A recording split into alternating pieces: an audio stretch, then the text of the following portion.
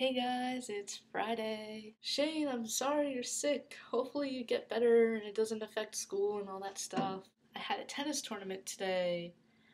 Um, I got to miss classes, which was good, and not so good. I took all my midterms earlier this week, though, earlier than I had to. The tennis tournament lasts from like Friday today to Sunday. But if you lose, then you don't have to play anymore. And, um, I was kind of hoping I would lose because we have off this weekend.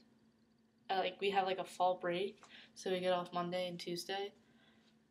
Um, but I won. T- I won my singles match today, which is a good thing. I played really well. I was happy.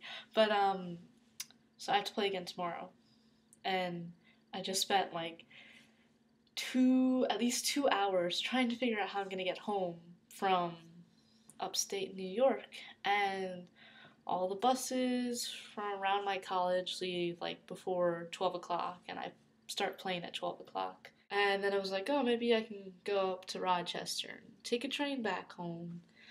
The train leaves at 2:33, and that's cutting it a bit close. But I found a bus from Rochester that leaves at like 5:40, and I can get back to New York City really late. But who cares?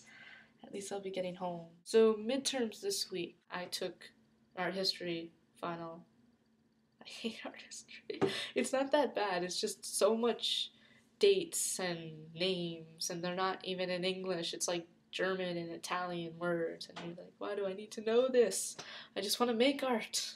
I also had to do two final projects for my foundations class. Uh, one of them was just a charcoal drawing of a building. I got a pretty good response on that. My other project was to make this exploration. I was telling you about it last week that had to do with like the slang, and I made an interactive YouTube video, kind of like Wheezy Waiters stuff, except it's nowhere as good as Wheezy Waiters. But I still got a good response from it. It has awesome music, so I'm gonna put a link to that over here and play it if you have time. One more thing before I go. I have a question. Have you guys heard of Homestuck? If you have it, it's like this interactive web comic kind of thing that this guy made on uh, Microsoft Paint or something. And uh,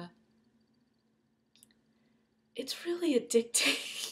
I don't know how to describe it. It's just really funny. You have these four main characters and they gotta save their world kind of thing. Then there's like these trolls, and each troll represents um, a zodiac sign and they literally troll people, the four main characters, and they're trolls. they're really funny, and it's um, I'll put a link down to it below.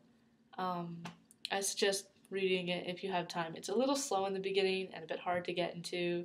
I know it took me a while to get into it, but once you get past like